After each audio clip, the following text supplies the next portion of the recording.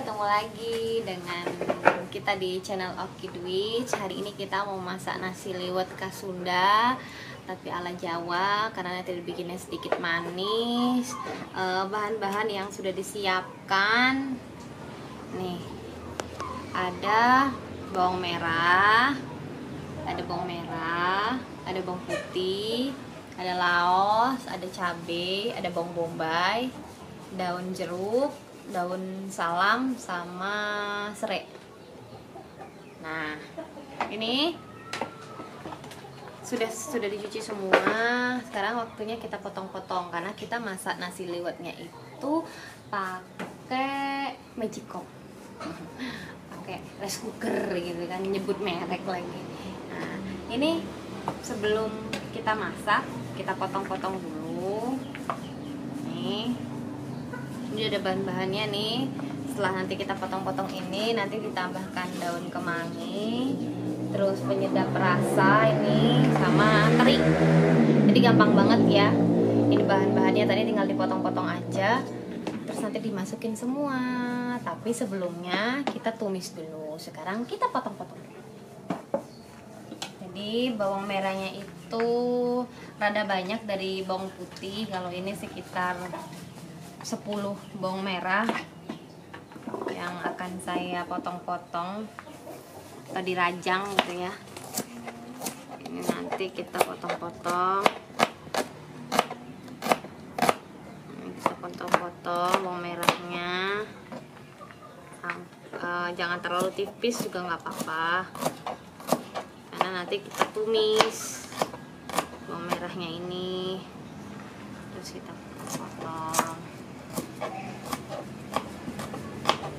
Nah, kalau bawang merah, bawang putih itu dipotong-potong, bawang bombay dipotong-potong. Nanti serai sama apa namanya? laosnya, lengkuasnya itu kita geprek biar kerasa, biar eh, bumbunya meresap gitu kan.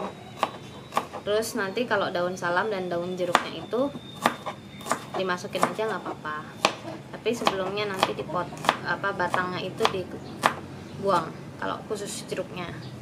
Nah nasi liwet itu kadang identiknya itu ini ya kayak nasi uduk ya. Karena masaknya itu kan ada yang pakai santan ada yang enggak. Nah ini kita masaknya itu nggak pakai santan.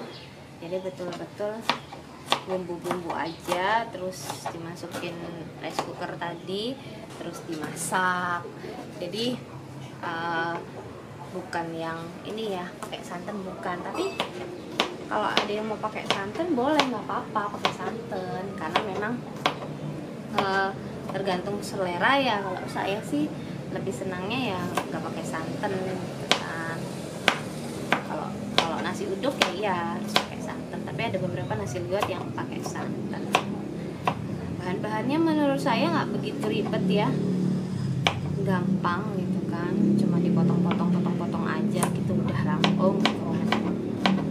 terus digeprek-geprek aja terus masuk di rice cooker tapi sebelumnya kita itu dulu uh, dibungsu dulu dioseng dulu gitu kan. Supaya nanti bumbunya itu meresap ya gitu. Kalau bumbunya meresap kan nanti enak. Nah nih kalau untuk bombaynya rada halus ya kasar sih boleh cuman kita potong jadi 5 lah. Satu dua tiga empat lima. Terus kita potong. Karena ini kan nanti ini ya mau masuk ke rice cooker ini ya kalau dia kegedean takutnya nanti nggak halus. Gitu kan. Nih udah semua. Waktunya kita geprek-geprek. Ini seri serinya digeprek. Lengkuasnya juga digeprek. Biar apa? Biar bumbunya meresap.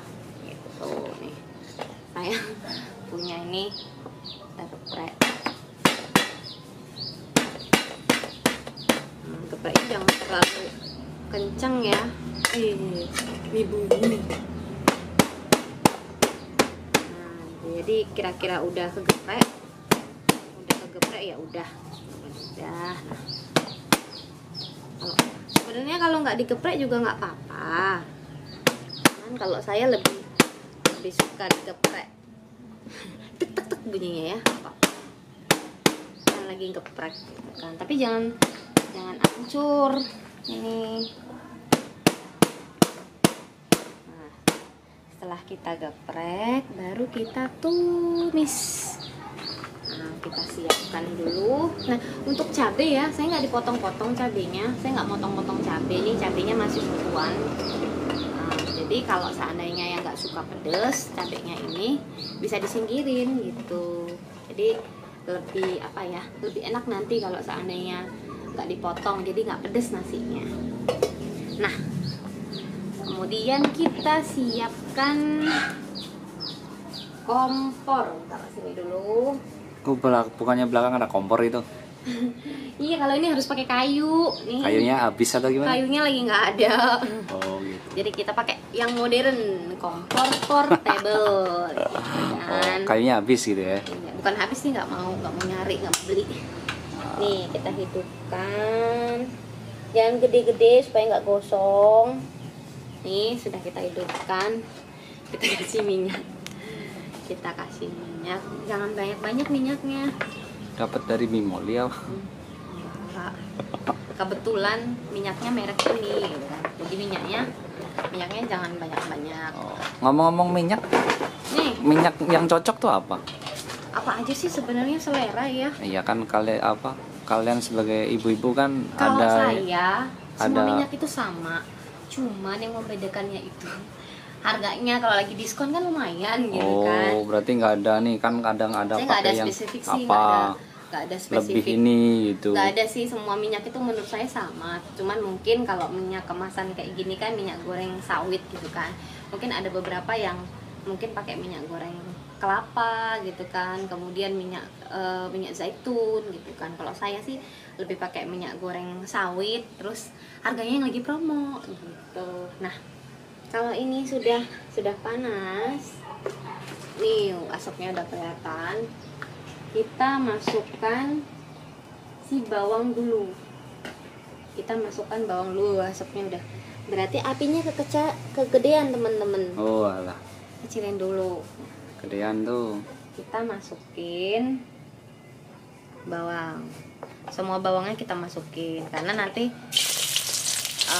kita nggak terlalu matang-matang banget ya. Kalau udah wangi udah diangkat gitu kan. Masukin bawangnya dimasukin semua. Yang geprek-geprekannya nanti aja terakhir. Nih, kita masukin. Kalau saya sih lebih banyak bawangnya ya supaya eh, lebih enak aja sih kalau sugesti saya kalau bawangnya banyak ya enak gitu kan cuman kan tergantung kalau memang nggak mau pakai bawang bombay juga nggak apa-apa karena bawang bombaynya ini tuh pelengkap. Kalau di tempat saya itu bawang bombaynya itu pelengkap gitu. Jadi nggak pakai bawang bawang bombay juga nggak apa-apa gitu kan. Cuman memang lebih banyak bawang merahnya dibanding bawang putihnya. Gitu ini tunggu sampai harum. Sampai harum nanti baru kita bumbuin. Bumbunya sih sederhana ya kalau saya lada gitu kan terus uh, ini apa penyedap rasa ada kaldu jamur ada gula satu sendok sama ada gula satu sendok terus ada minyak ikan minyak ikan gitu kan. Terus ya tadi kalau terinya masuknya terakhir ya. Biar nggak gosong terinya. Tuh.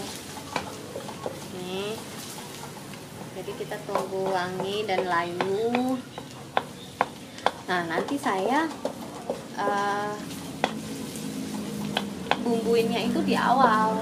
Bukan pas ini ya pas pas apa namanya pas di dalam rice cooker enggak gitu. Tapi lebih di awal karena memang eh, biar nyatu ketika dibungsu kayak gini gitu. nah. Hmm, hmm, hmm, sudah sudah wangi nih. Sudah wangi. Kita masukkan cabai kita masukkan cabai tadi biar nggak terlalu lama gitu kan cabainya masuk. Ditunggu agak layu baru nanti kita masukkan yang geprek-geprekannya. Oh, kalau saya sih nggak begitu ini ya nggak begitu matang banget. Karena kan nanti kalau matang banget kan mau dimasak lagi nih di rice cookernya. Jadi biar nggak terlalu apa ya terlalu gosong. Setelah wangi rada, rada sedikit layu kita masukkan yang geprek-gepreknya kan dimasukin tadi udah digeprek-geprek. Sambil menunggu layu. Nah baru kita masukkan gulanya nanti aja ya. Kalau gula terakhir pas di rice cooker ini kita masukkan nih jangan banyak-banyak. Penyedap rasanya jangan banyak-banyak. Ya, terus masukkan lada. Nih.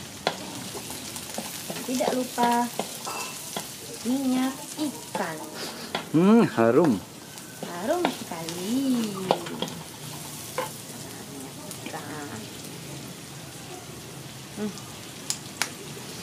Minyak ikan itu eh, apa kegunaannya itu banyak ya bisa buat numis-numis gitu kan. Bisa buat eh, oseng kayak gini juga sama deh numis osengnya. Pokoknya pelengkap pelengkap rasa lah kalau menurut saya. Karena memang enak gitu kan baunya juga gurih. Nah kalau sudah ini sudah eh, wangi sudah layu. Kita siapkan berasnya. Eh jangan lupa nih. Nih daun salam. Saya empat empat empat empat apa ya? Empat helai. Masukkan Lembar. empat lembar. Terus ini daun jeruknya ini tengahnya itu dibuang. Nah tengahnya dibuang ini tengahnya dibuang. Hmm, baru kita masukin. Biar segar Kenapa tengahnya dibuang? Eh, terkadang tengahnya itu nggak ikut mateng. Nggak ikut layu karena dia terlalu ini ya terlalu keras gitu kan. Kalau daun salam malah enggak dia. Dia apa batangnya itu eh, lembut. Tuh. Nah ini udah mulai ada matang kita pateni eh kita matikan kita matikan Mati ini ya. Nah, kita matikan. Setelah itu, saya sudah nyiapin teri. Itu terinya? Terinya yang terakhir teman-teman, supaya nggak gosong. Nih teri, teri, teri, teri terakhir. Supaya nggak gosong karena saya pakainya itu teri, teri Medan. Oh, karena teri Medan ini cepet banget nih langsung garing ya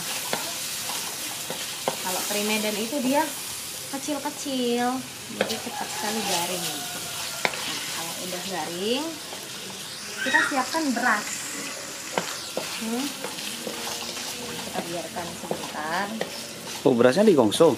enggak maksudnya teman-teman siapin beras nanti jangan lupa dicuci biar bersih. Berapa ukuran berapa gram saya berasnya? sih pakai pakai eh hmm, wangi banget baunya beneran nah saya pakai satu ini saya pakai dua setengah ini karena memang Buat berapa orang? nggak begitu banyak ya cuman buat saya sama bapak ibu terus suami jadi buat empat orang Anak. paling kita sekali makan tok gitu kan karena kalau banyak-banyak takutnya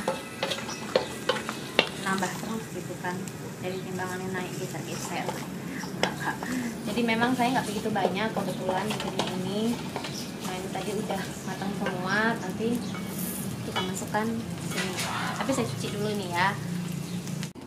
Nah tadi sudah kita oseng-oseng. Terus ini waktunya kita masukkan ke rice cooker nah pertama-tama kita masukkan dulu nih bumbu yang tadi sudah ditumis. Nih tekan ya. Kita masukkan ke sini. Nggak apa-apa sama minyak-minyaknya juga nggak apa-apa. Karena memang eh, harus ada minyak-minyaknya supaya apa ya nggak nggak lengket gitu. Karena kan kita masukin bumbu-bumbu di sini. Ya masukin semua ini masukin ke sini terus kita kasih sayang kita kasih air Airnya seberapa? nah airnya lebih kurangnya segini tapi nggak semua Segitu tuh kan ada acuannya di dalam itu. loh. ini itu sekitar 300. Becek apa banjir apa apa. jangan jangan terlalu banyak tapi kita aduk-aduk dulu ini Untuk Se- segini aja nih hmm, nih seruas ini semana semana. seruas ini nih seruas ini seruas ini karena kan ada beras yang banyak Hmm. air ada beras yang segini nih Berarti sebenarnya sesu- sesuai selera ya mau banyak mau enggak gitu kan Iya, ada lagi, ada sesuai. aturannya masing-masing ya. ya gitu sesuai selera sih kalau menurut saya jadi ini nanti. Kebetulan kan beras kita nggak begitu ini ya nggak begitu banyak air gitu kan. Jadi ber- apa airnya sedikit nggak begitu banyak. Nah tambahkan gula. Kenapa pakai gula?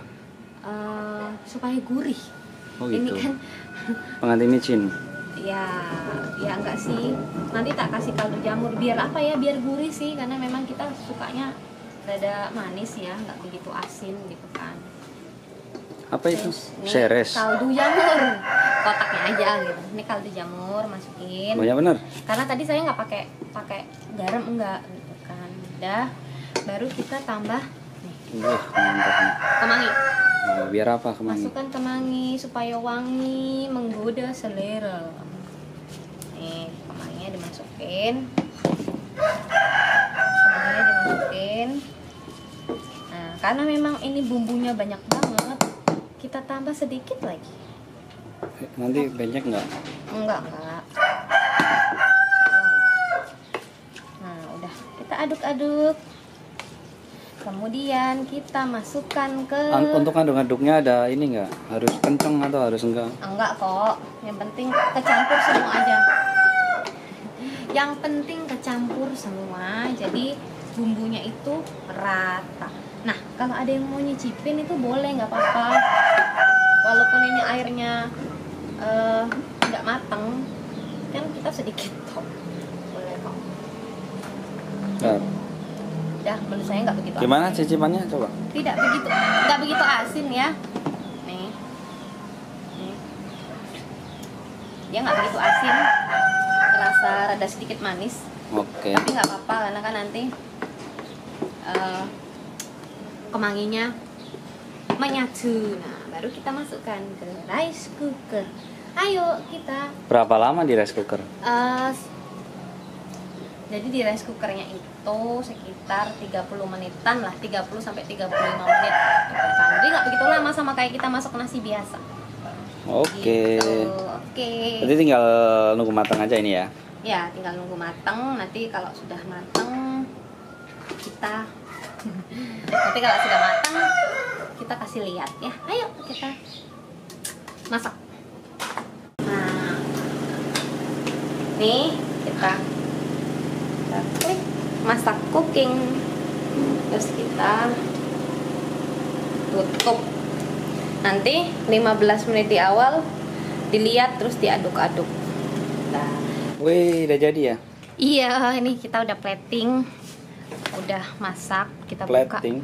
Uh, uh, warnanya hijau, hijau, hijau, hijau. Hmm, jadi warnanya hijau gitu ya. Iya, jadi ini eh, kalau ke- kelihatannya ya nggak kematangan, nggak ke kerasan gitu kan. Nih, kita icip-icip. Mm-mm. jeruknya wangi Hmm. jadi nggak jadi dia nggak nggak nggak begitu keras. Emang nggak keras maunya. Tadi kan Coba masih begitu banyak. Nah ini platingnya. Terus kita taruh di sini deh. Kita taruh di sini. Tuh tuh tuh. Ada cabenya. Ada terinya. Kurang segini kurang. Nah uh anaknya. Ini nasi liwet ala bunda nami. Nih nih dah. nih ya. Uh enaknya nih bumbu-bumbunya. Ini hijau karena kemanginya kayaknya. Dan bumbu-bumbunya. Terus terang enak banget. Hmm wangi banget